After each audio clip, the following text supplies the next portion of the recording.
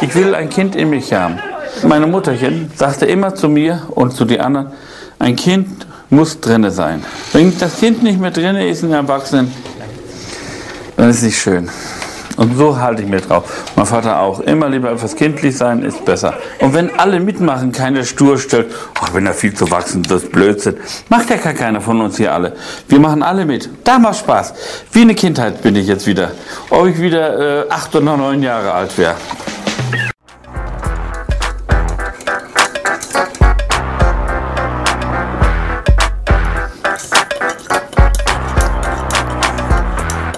Dies, warum ich lange rühre, wegen die Klumpen hier. Und trotzdem kommen sie da, hier.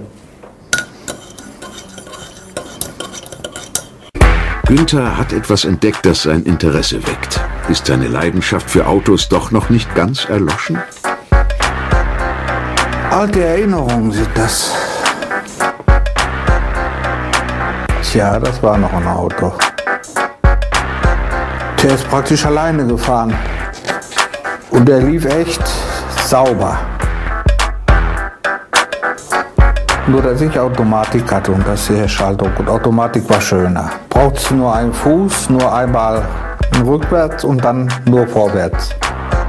Und dann gar nichts mehr.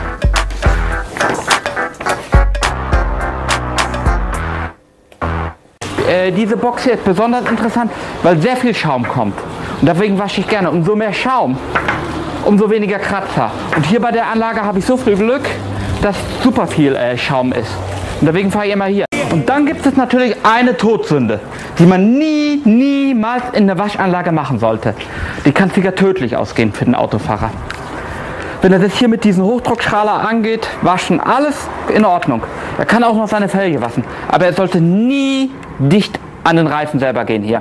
Aber wenn man das hier so dicht dran geht, zerstört man das ganze Gewebe des Reifen. Er platzt weg. Und das kann auch unterwegs passieren. Deswegen ist es eine Todsünde. Weil äh, du man kann ja mal mit die Bürste rübergehen. Das schadet nicht. Und natürlich die Cabrio-Fahrer mit die Stoffverdecke. Weil sich die Impression, also wie das imprimiert ist, das Dach, wie ein Schuh ist ja auch ist, löst sich ab und dann kann man am Ende ein Schwimmbad haben. Und das sollte man auch nicht mit der mit dem Sprüher. Oder zumindest man tut ein Einreiben von ganz weitem leicht rüber, also nicht von nahen.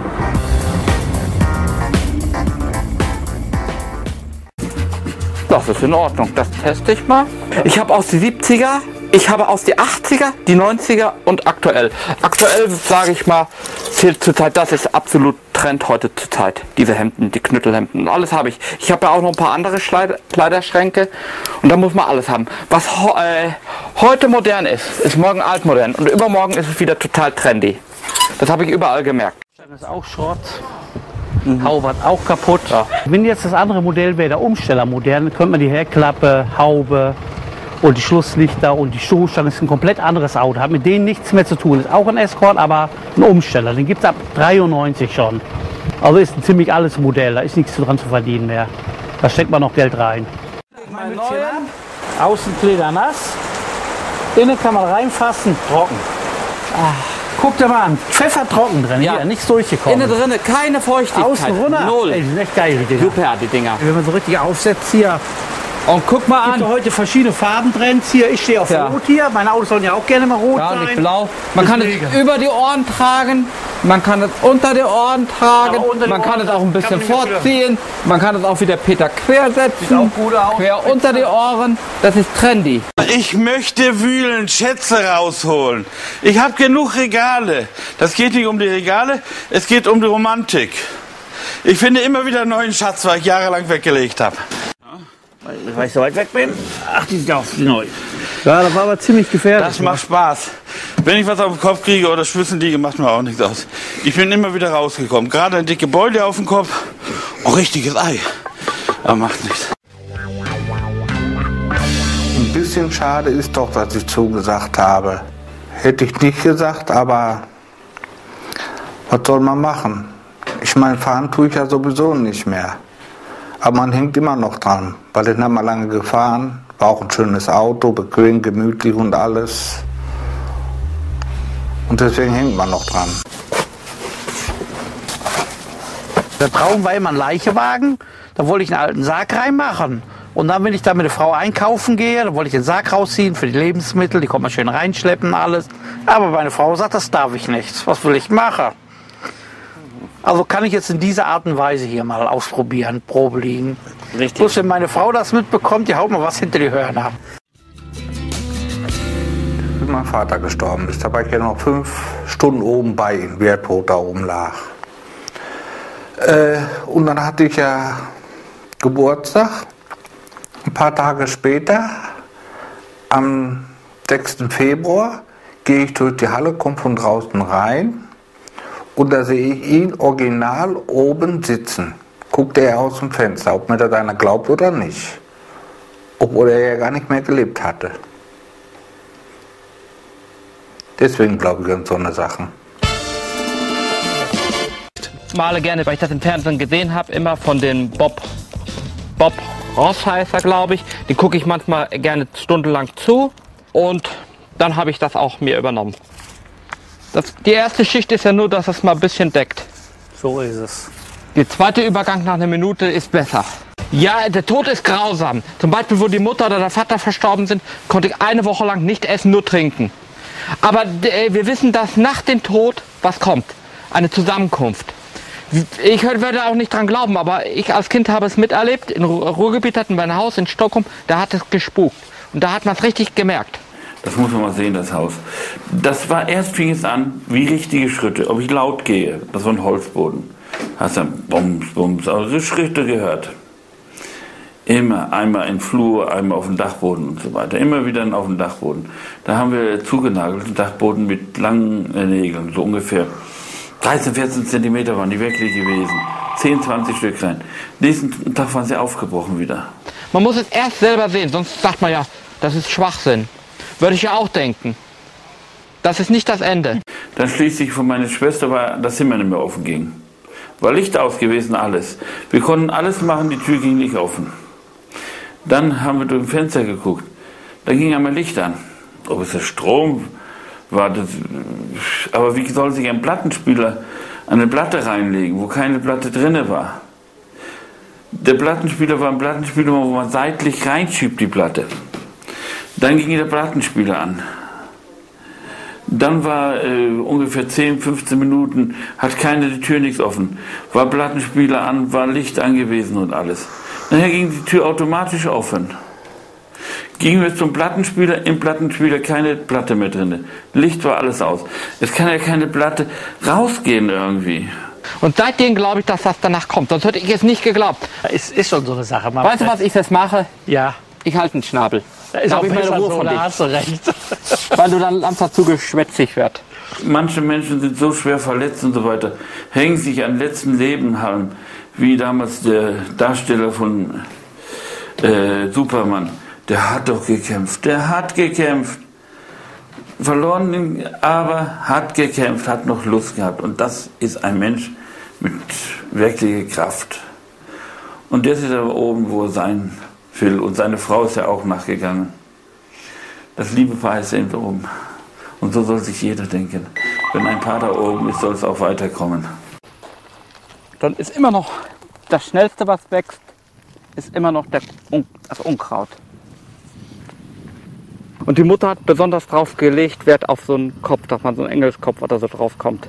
Und der Vater wollte nicht, dass alles in eine Linie ist. Das soll ein bisschen kreuz und quer sein. Der Vater ist jetzt schon seit äh, 91 tot. Das ist, ob er gestern gerade verstorben ist. Oder die Mutter. Jahr. Das ist, ob er gestern passiert ist. Und da wird nie vorbeigehen. Oder auch die Oma. Da hat man noch voll im Bild sitzt. Da kann man nichts gegen machen. Das hat- bleibt in einem drin. Das ist auch gut so. Man soll die Verwandten nicht vergessen. Ja, man geht schon in Großstädte, so wenn du ein Doppelgrab hast. Da wärst du nicht mehr nebeneinander, da wärst du übereinander beerdigt. Weil zu viele Tote sind. Und zum Beispiel hier auf dem Land auf die Friedhöfe, da weiß ich, von einem, der da gearbeitet hat, da wird oben die Umrandung weggemacht, Grabsteine weggemacht, oben glatt gemacht. Und wenn dann auch ein Fremder später kommt, kommt der nächste einfach oben drauf.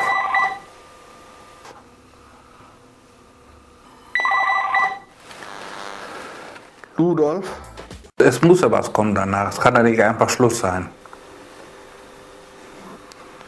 Ich glaube auch, dass unsere Eltern bei uns sind. Zwar anders als so, aber trotzdem, dass sie bei uns sind. Glaube ich fest dran. Ist egal, was andere Leute denken, aber ich glaube da fest dran.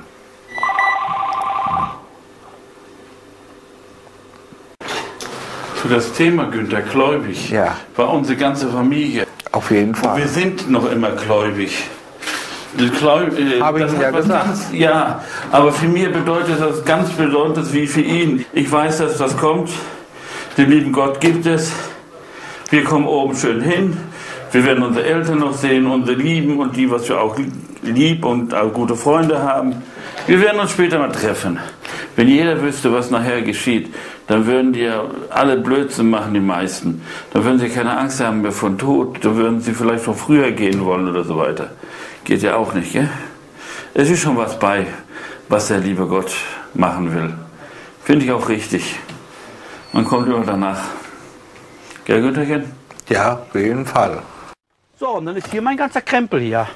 Hier haben wir noch ein paar alte Bilder gesammelt. Schöne alte Stücke hier noch. Und sowas kann man nicht trennen, da habe ich jede Menge. Schönes Bild. Dann hier ist auch mein Schrottraum. Der ist momentan normal unser äh, Hobbyräumchen, aber momentan ist alles zugestellt. Normal tun wir uns immer hier einiges genießen. Aber wir müssen wieder anfangen abzuräumen. Und sieht man, hier gehen wir uns mal einen Saufe. Selbstgebauten Tresen. Da war mal der Kuhstall. Ja, da hinten ist auch so ein Gerümpelschuppen, da ist unser Öltanks drin und und und. Ja, da sieht man, dass wir Brüder sind. Deswegen kommt es so. Was der Peter hat, Haufensystem, so habe ich auch das Haufensystem. Das macht so Spaß, weil ich alles sammeln kann. Wenn ich das in Regale machen müsste, hätte ich den Platz nicht. Und so packe ich jede Ritze, jedes bisschen voll. Also geht jede Menge von den Zeugs hier rein. Da sieht man, jedes Stückchen, jede Ritze ist vollgepackt. Bitter Limonade rein. Ja, der Winter braucht es. Ja, Vitamine braucht Vitamine. Wir haben ja unsere eigenen Vitamine, wa?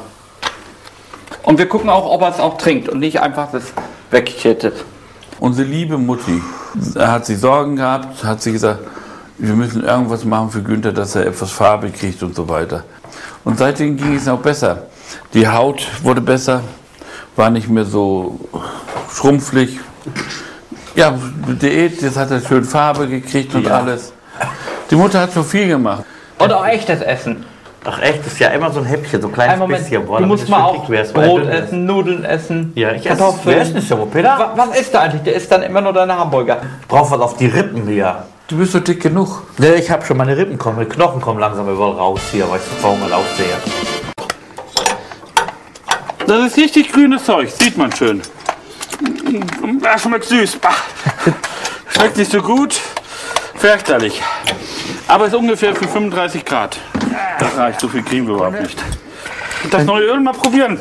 Habe ich schon. Sauber, lecker. Gut. So, alle Öle sind in Ordnung. Das schmeckt original nach Servolenkungsöl. Das hat einen extra Geschmack. Ja, das ist nicht so Das gut. schmeckt nach Motoröl ist besser, Peter. Und das ähm, äh, von der Kühleranlage, das ist süßlich. Das nimmt man auch für Wein, wenn er unwahrscheinlich schlecht sein soll. Vor, vor früher wurde es ungefähr 60, 70.000 Liter innerhalb von einer Woche als Wein in eine Fabrik reingeschüttet. Guten Wein. Der ist nie eingefroren. Konnte man draußen stehen lassen. Das ist unser Auto, wie wir die Firma angefangen haben. Erst haben wir mit den älteren Goliaths angefangen. Da waren die Lampen noch außerhalb. Und nachher waren die Lampen in der Haube drin. Und das war praktisch unsere Jugendzeit, wie wir aufgewachsen sind. Wir hatten nicht nur einen gehabt, ungefähr 40 oder 50 verschiedene. Ja, haben wir mit der Zeit kaputt gefahren, da war neu, unser kaputt, Anfang. neu Überwiegend so in weiter. grün. Und so ging es Grün weiter. und Nachher waren die letzten In- Goliaths äh, mit äh, Lampen in der Haube drin. Ach, wunderbar. Das war die neue. Das ist Romantik. Das war die erste Ja, Generation gewesen. Und dann kam die neuere Mit in der Haube die Lampen.